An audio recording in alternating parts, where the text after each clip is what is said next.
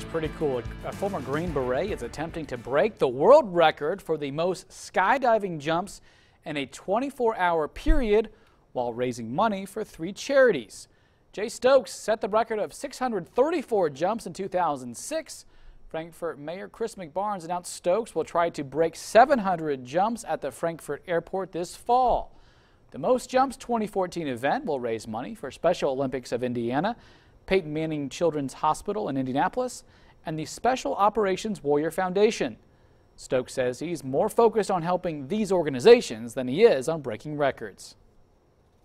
The fact is, I've got a son that's got cerebral palsy. He's a Special Olympian, and that means a lot to me that we are allowed to have them as a uh, organization that we can donate money to. Barnes says he is expecting more than 30,000 people to attend the event in September.